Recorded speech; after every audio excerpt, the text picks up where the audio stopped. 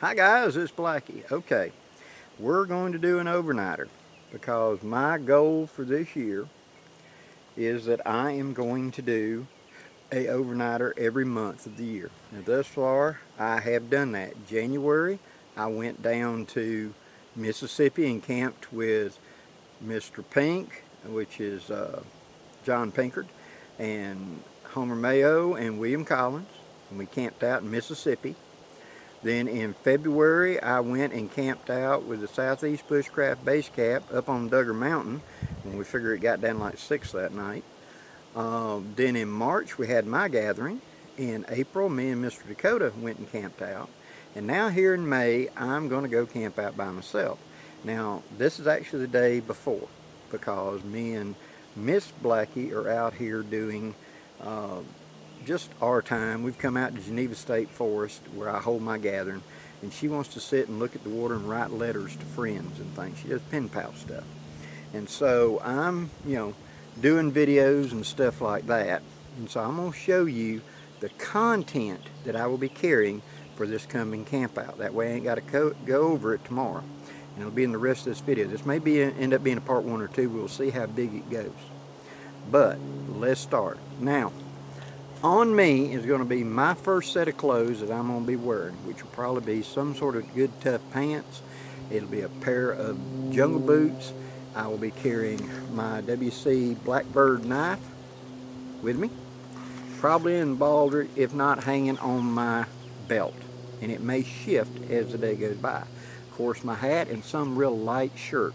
The temperatures right now are in the 80s, bordering on 90, and the humidity is somewhere in the 70s so it's fairly muggy at times. But we've had an unusual cool spring and a cool snap here at the end, so we've got unusually cool wind, which is fantastic.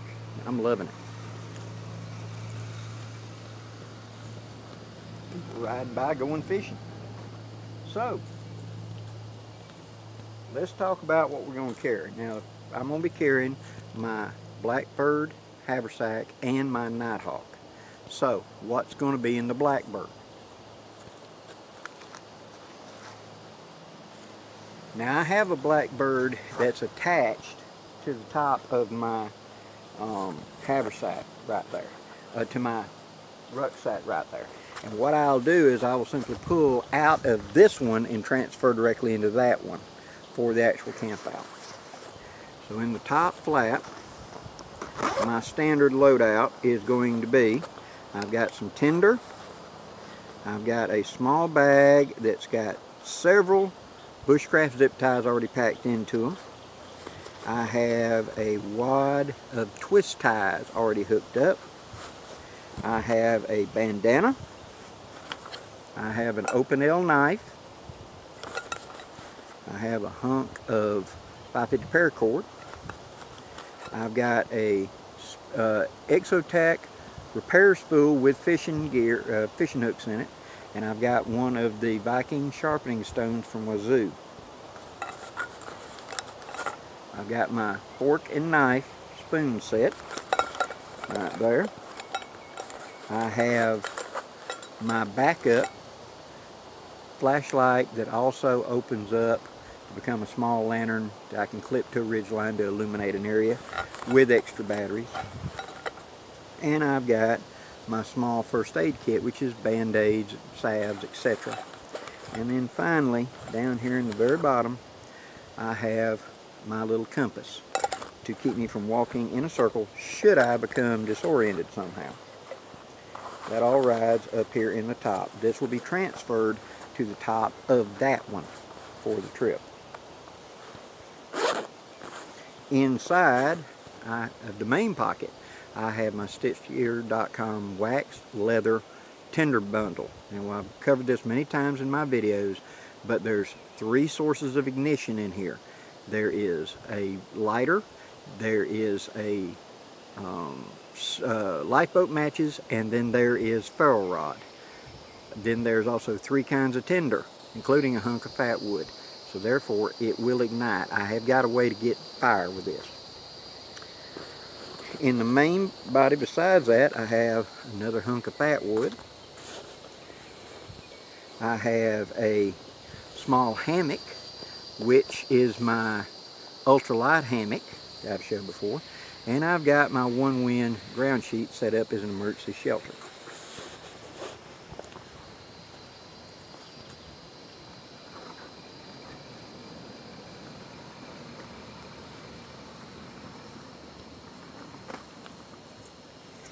Guess they didn't like the fishing down there. But that would be riding on top of the Nighthawk uh, rucksack. The strap will use it to connect the two together. Once I get to camp and I set up my camp, my Nighthawk will be hooked to a tree and the Blackbird will be taken off for me to wear. So as I do my scouting or whatever, I've got my full haversack with me. But it's part of the rucksack set to get it there. Okay? Okay, here is my Nighthawk rucksack. Here is the Blackbird that's empty already on top. One pair of ALICE straps. On the outside of it, I've got my Himalayan Imports kukri with a file on the back of it so I can sharpen it up in the field. I have a carrier that's from Campcraft and inside of it I have my silky saw so that I can create at camp that right there, it snaps. It's simply being held to the webbing straps on this by soft shackles and bushcraft zip ties. On this side, I have a loop right here, and I've got a carabiner. And when I put it together, you'll see it. I'll clip my Grayl to the outside of it. The Grayl is going to be my primary water producer on this event. So I will be able to gather water with my uh, haversack and I'll be able to process water with this. So for cooking, drinking, or whatever, it'll be this. And with that uh, beaner right there, it's easy to hook it on and off the pack. Okay? Now, inside the Nighthawk, there's a big pocket in the back. That's for a piece of foam. Now, it doesn't come with that but you can find these everywhere. And this is an old U.S. Army sleeping pad that I cut to this size. This acts like a frame in it. It also is something that at night, if I'm going to be a little bit cool, I can put this underneath my back to help keep me warmer at night. It's also something I can pull straight out as a sitting pad. So if the ground's a little wet or whatever, sap, pine sap's all over the stump or something, I can pull this out and sit down. So it goes in first. The advantage of this is I can open up the pack fully loaded and pull it straight out and put it back without having to unpack the pack.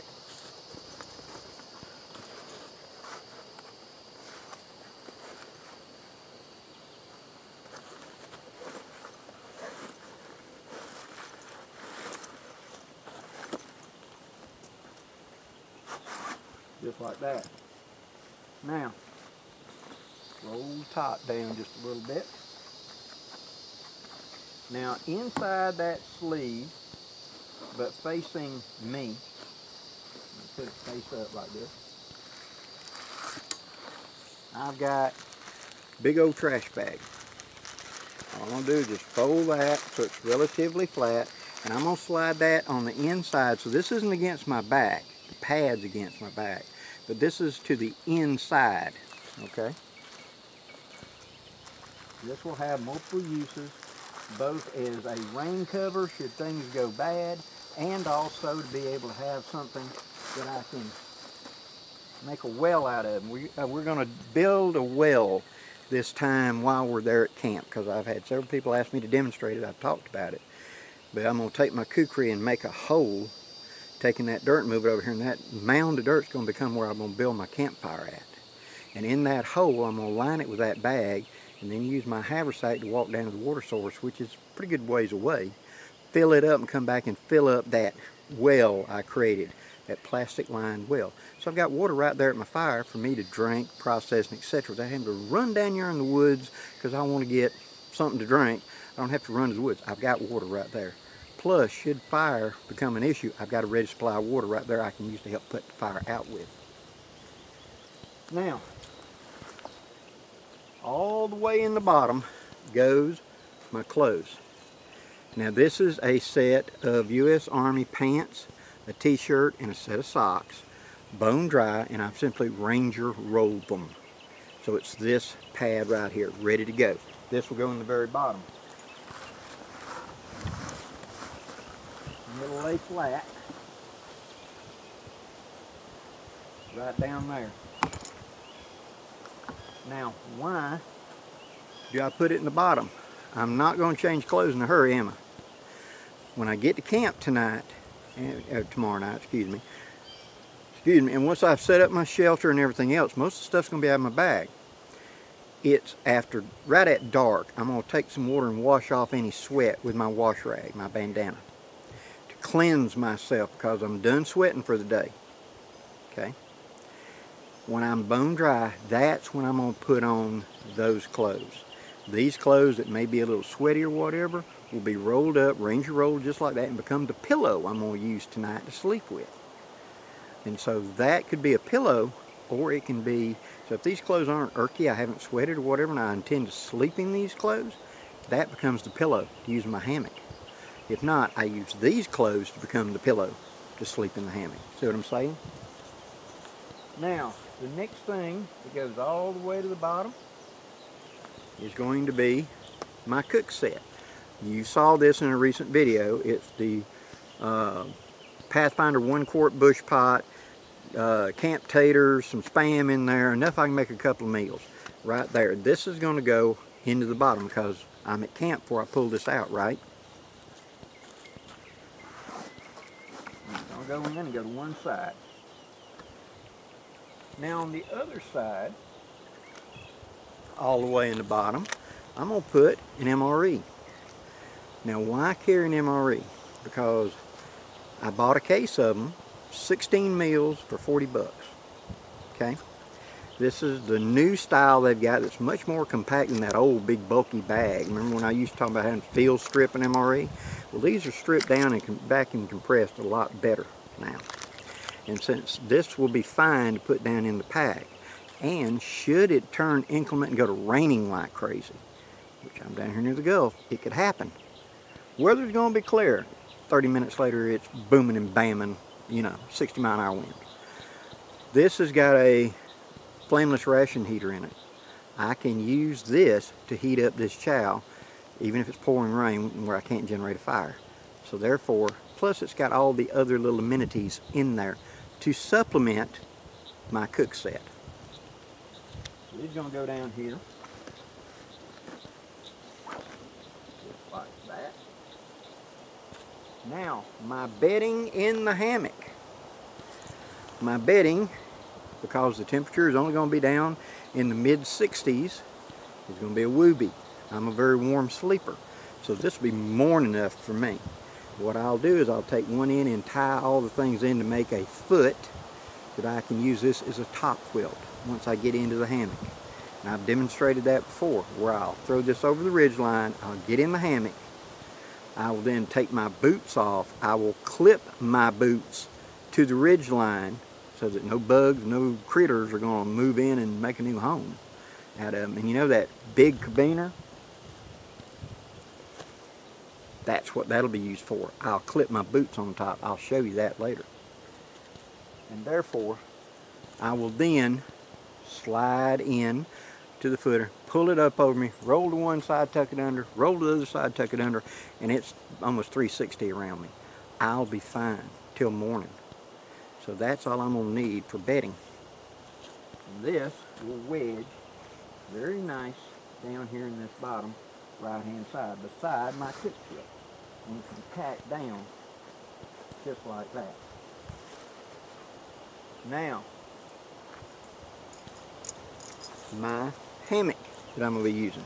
And this is the OneWind hammock that has the zip on, zip off mosquito net because it's about to be June. Mosquitoes are everywhere down here, guys. And so if you don't have a wind like you got right now, they will eat you alive. So you got to have a bug screen or you ain't to sleep. That's all there is to it. You're to be landing on your face all night like that and next morning you're to wake up like that chicken pox.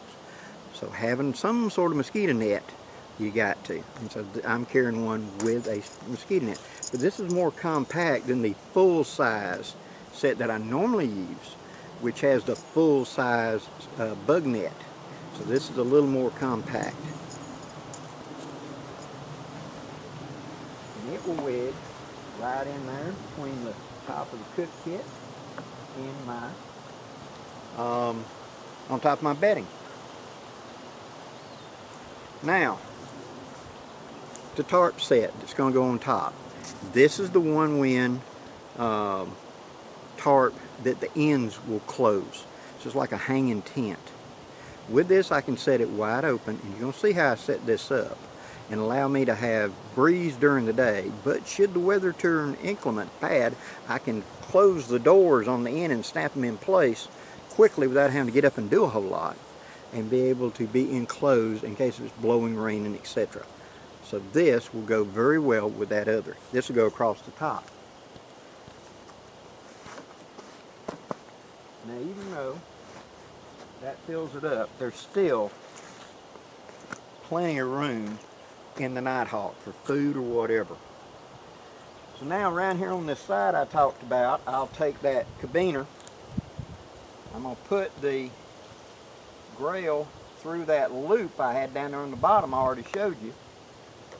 And I'm going to pull the snap up here and go through one of my side belt loops just like that. Now when it settles down in there like that, I'll get you up close minute let you see. It'll hold the bottom of the Grayl in place and the top is held by the cabiner. So I can unhook the Grayl and pull it right off and be able to drink. Put it back on. My kukri is available right out on the outside where I can grab it, easy to get, and so is my saw on the front. Now to close it up, I have the Nighthawk has a ring on either side. All I've done is got one of them cheap little cabiners. Okay? So what I'm going to do is I'm going to take it and I'm going to roll it toward me or right away from me, whichever one you want to do. And I'm going to roll her down tight, lifting up. And when I get it up here, I'm going to do like this and pull it together.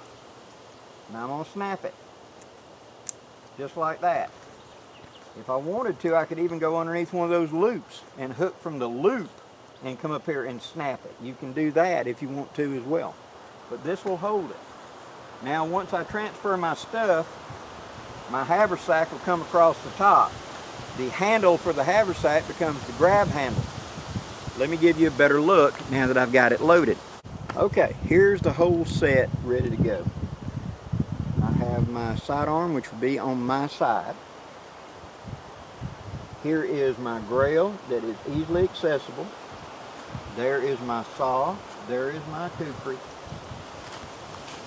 There is the back where that pad is right there patting me against anything rubbing against me. I still have multiple D-rings, multiple places I could anchor other gear onto here. It's all ready to go. Other than transferring and putting my stuff from my haversack into this haversack, that's it. We're ready to go. So that is the loadout that I'm taking for this overnight. I will be, oh, one other thing. Let's cover that. Since it is summertime, I will quite often carry a sidearm or something with me. Those of you that follow my channel know my love for cap and ball revolvers because they are actually very practical once you get skills with them. So, we have had big hogs show up in the area. There have been black bears sighted in the area I'm going to. Not in the last few days, but a couple of months ago. And not at this exact place, but a few miles down at the river. So the odds of encountering a bear or encountering a big boar are low, but not zero. It's low, but not zero plus the fact of snakes. Now the area I'm going to is kind of open like you see here. Down there at a, a place I go to that, that you see me a lot of videos. It's backside of a shooting range that I'm part of that shooting club. And it's the primitive camping area is where I'm going. So I don't have to worry about too much about snakes at my feet. I can see them far enough out. Especially once I clear my camping area out, I'll be fine. But I do need something in case because the odds are low but not zero so, I will be carrying down there my 1861 36 Navy, which I call Stormborn. I haven't carried her in a while. And so it's her turn to go camping. I took Shiloh out last time, which is my 1860 Army. Now it's a 36. I feel confident with this that if I encountered something, I can defend myself or at least make enough racket to make it go somewhere else, okay, against snake or etc. Now let's talk about choice here for a second. If I was going someplace that was worse, and I know places like that, where the risk of bear is higher, and the risk of encountering big hog is higher and snake is higher. I will be carrying my single shot shotgun or my pump at that time because of the odds of encountering something are much higher. So I need to be able to take care of situation, right? I also have an 1871 open top in 45 Colt, which would also serve.